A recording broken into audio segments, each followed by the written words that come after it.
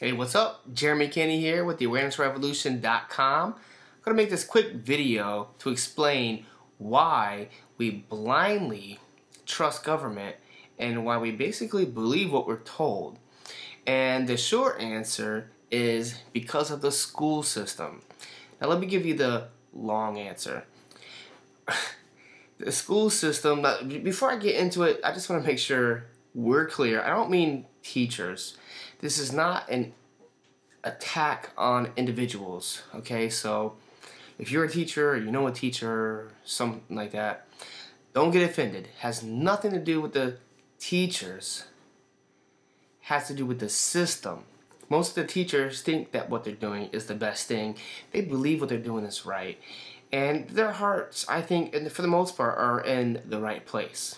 But the school system is inherently um, well, I guess I shouldn't say inherently because it's been systematically um, infiltrated by people who don't have the children's best interests at heart. The way I see the school system is like a manufacturing plant to take unique individuals and mold them into cookie cutter people that the social engineers deem necessary for the system that we live in. So they basically make them into workers and soldiers.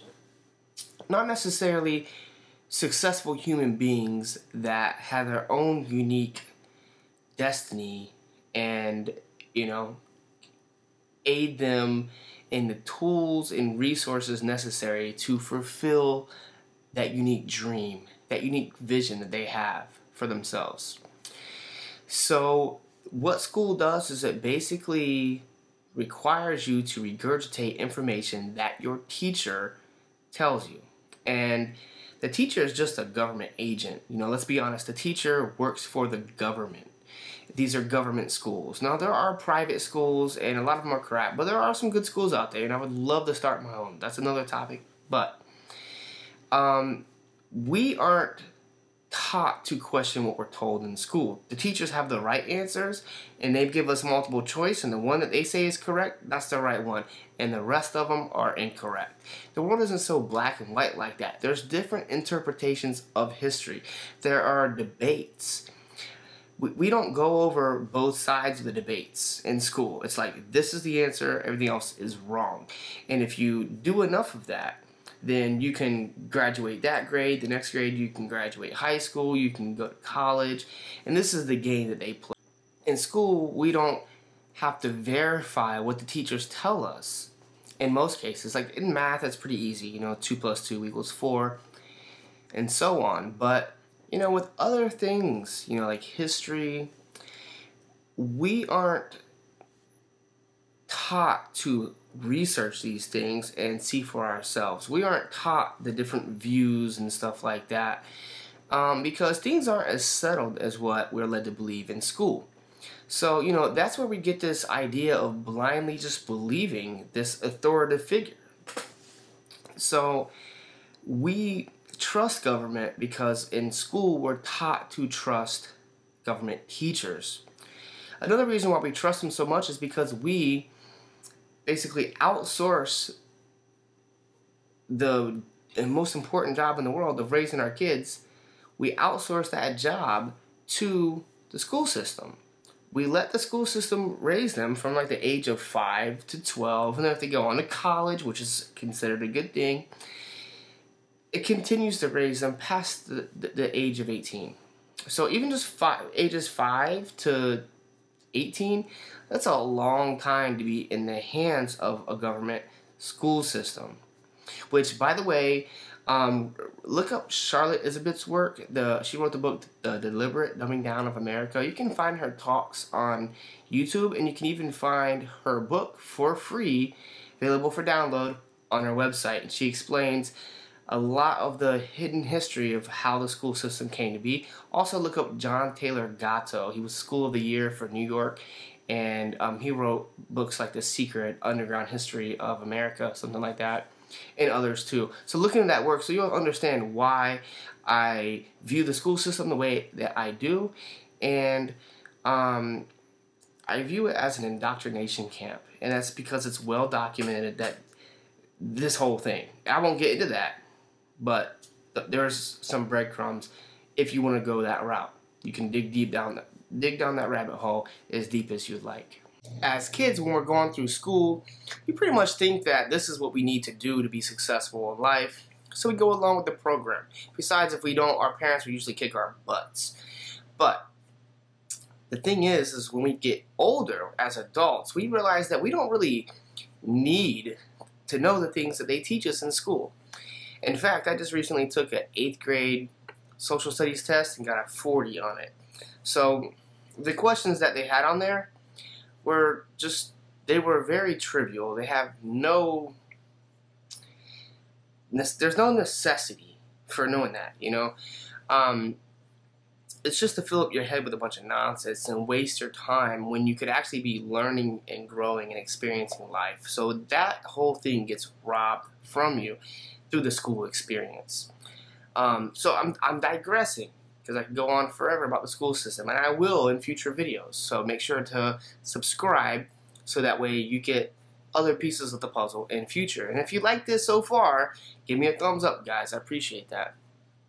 So we get older and we say things like, you know, most of what I know I learned out of school. You know, I didn't like learning until I got out of school. Things like that. I mean, that's, I hear that all the time. That's the way that I am. So, you know, the thing is, is if we realize that school is less than what we thought it was, then, you know, usually we send our kids to school for the convenience. You know, we get the break, or we have to work. So it's kind of like a necessity. We work while our kids are in school.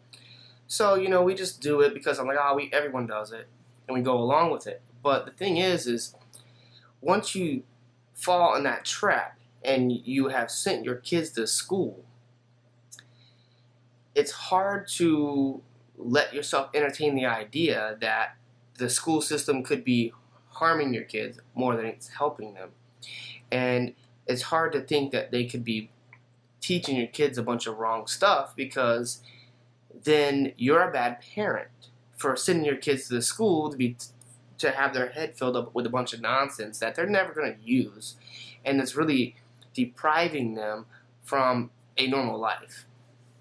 So instead of acknowledging that, we just ignore it. We stick our heads in the sand and um, we go along with the program as adults, sending our kids through here. So that's why we believe what we're told because that's what school trains us to do. And that's why we blindly trust government because that's what school does. And I think that's actually more of the purpose of school than it is to educate kids with the essential um, things that they should know to be a, a, optimal functioning human being on this planet. You know, we don't learn how to grow food. We don't learn really much about nutrition. I remember thinking health class was so boring in school. Um, there are a lot of things uh, that we don't learn in school. We don't learn really how to manage money. We don't learn about entrepreneurship. We don't learn, uh, we don't learn our rights. Like when you're driving on a car, you know, you get pulled over. What you know, what can you do? What can't you do? Um, how, how, the court system works. We don't learn that stuff. We don't learn how mortgages work. We don't learn um, the the landlord and tenant rights. You know, whether you're going to be a landlord or a tenant. You know, this pretty much affects everyone. Um, and we don't learn that. We don't learn how taxes work. We don't learn all. I mean, you can get you can get put in jail for uh, uh, messing up your taxes. You can, you know, when you're on the road, you can get. Um, they can pull you over and all kind. Of, if you don't act the right way, they'll pull you out of the car and beat you up, and all this stuff. And we are never taught how to deal with these sociopaths with guns and guys that call for backup. You know, they're just driving around looking for something, some reason to pull you over, trying to, you know, desperately trying to throw you in a cage. We don't learn how to prevent that from happening. Um, so it's no wonder why it's happening to so many different people and why so many people um, struggle with with life. It's because school doesn't prepare you for the real world. I hope you're getting a lot out of this video. So like I said, give me a thumbs up, share it with some other people because I know a lot of people um, don't have this view and we've got to get the discussion going. And make sure to subscribe because I've got lots more videos coming in the future. And if you haven't already, go ahead and check out some of my older videos. I've got a lot of them on a bunch of different subjects and I think that you're in for a treat because there's probably about something for anyone and you're sure to learn lots more. I hope to see you again in a future video.